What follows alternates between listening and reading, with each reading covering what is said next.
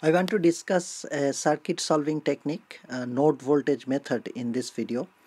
So the procedure for using node voltage method to solve circuit to find out various voltages and currents in a circuit is first we identify the total number of nodes in a circuit. Let's say total number nodes is n. Then we write identify uh, we label one node as the ground node or reference node and we write KCL for the remaining n minus 1 nodes.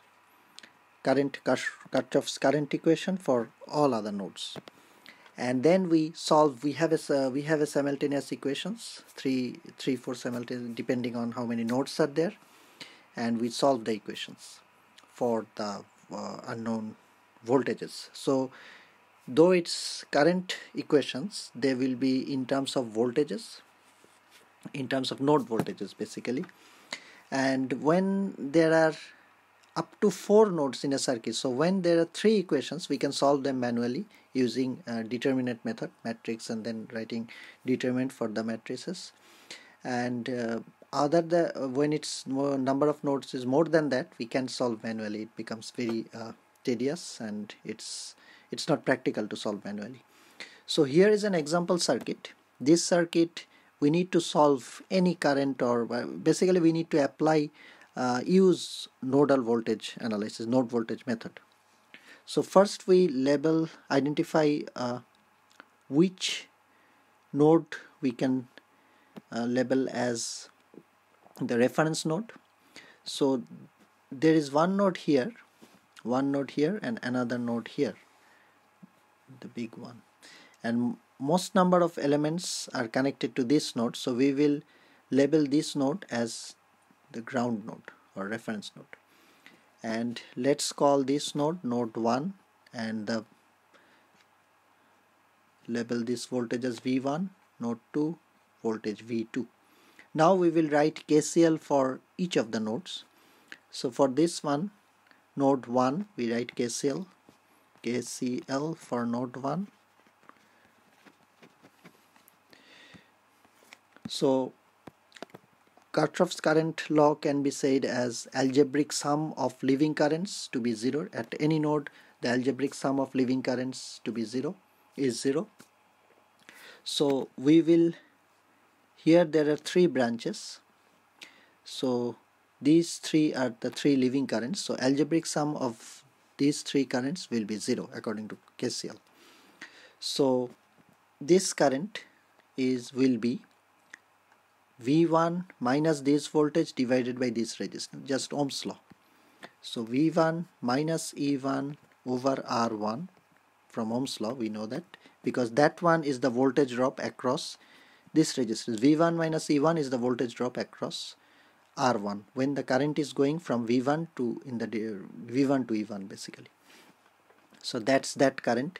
Then this current that's going down will be V1 minus 0 because this is reference node 0. So V1 minus 0 divided by R2 because that will be the uh, voltage voltage basically using Ohm's law here across R2 the voltage the current will be V1 over R2 so V1 over R2 finally this current that is going to the right what is the voltage drop here? That will be V1 minus V2 and the current through this will be since current is going from V1 to V2 current uh, will be V1 minus V2 divided by R3 from Ohm's law. V1 minus V2 divided by R3 from Ohm's law. So I will separate V1s and R1 uh, V2s so this can be written like that. Minus V2 over R3 and we have minus E1 over R2 which I will take on the right hand side. This one is a constant because this is the voltage source divided by the current. So because it's constant I have taken on the other side.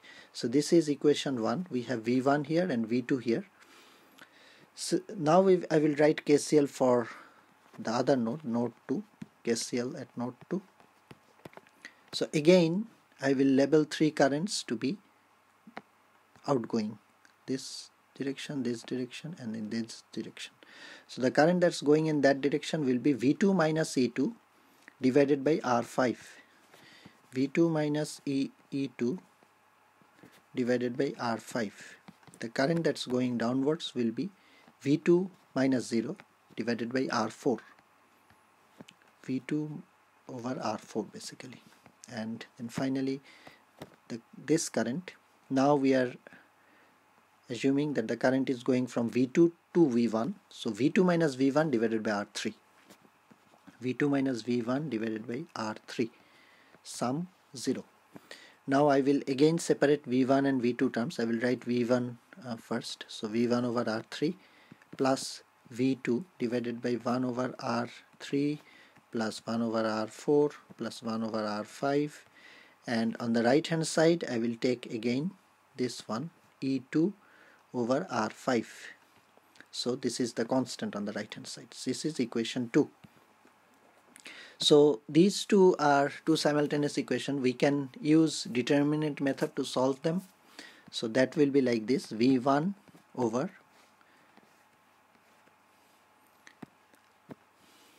so r1 1 over r1 plus 1 over r2 plus 1 over r3 the coefficients 1 over r1 plus 1 over r2 plus 1 over r3 and here it is 1 over r3 minus I will write a little bit. So let's go there. And then the coefficients of v3 is minus 1 over r3 minus 1 over r3 and this is minus 1 over r sorry r 1 over r3 plus 1 over r4 plus 1 over r5 so these are in the denominator coefficients of v1 in the first uh, column and coefficients of v2 in the second column for both the equations. And in the numerator will be since we are trying to find out uh, v1 the right hand side will be here in the first column. So right hand sides of both the equations. So e over r1 and e2 over r5 e actually e1 that one is i e1 over r1 and e2 over sorry. Ah, it's a huge mistake. So e that's the first. So e1 over r1 and in the second row will be e2 over r5 and here it will be the same. The second column will be the same as denominator. So r5 r3 plus r4 plus r5 1 over r5 like that. We can write them in brackets so in parentheses so like that.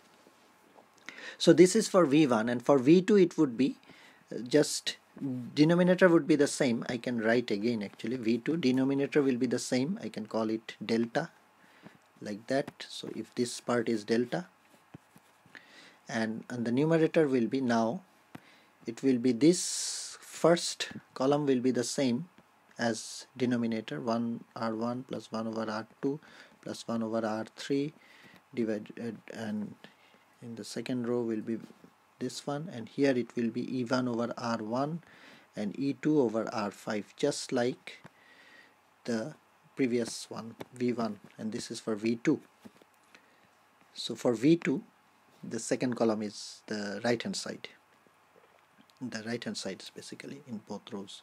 So this is the this is how we can uh, solve two node voltages and then from that we can find all the currents as well. What we can uh, with careful observation what we can see is if we look at this equation uh, if we write the currents as outgoing currents there is one benefit that what we have as coefficient of v1 for the first equation is inverse sum of all the resistances connected to that node.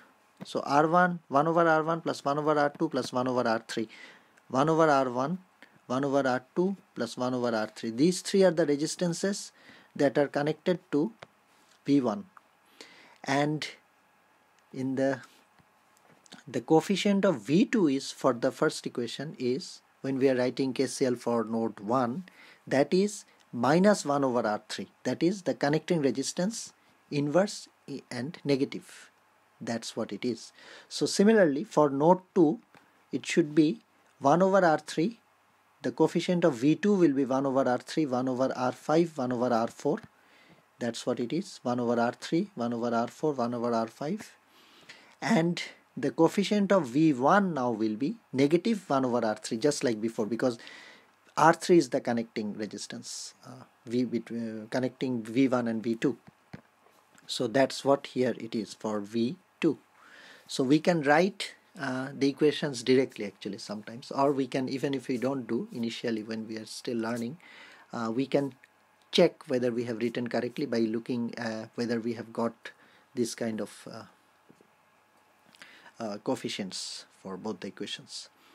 So yeah this is just an introduction video and we need to do some problems to get used to get used to it and to get some skills so that uh, and we I have done for two uh, so there are only two nodes in this circuit particular but it can as I said it can be three nodes as well. Up to three nodes manually is uh, convenient. It's possible to do but then we will end up having uh, three column and three row matrices and as a result three column three row determinant. So the we have to solve from there uh, from there. So yeah this is just an introduction. I will do some problems hopefully later on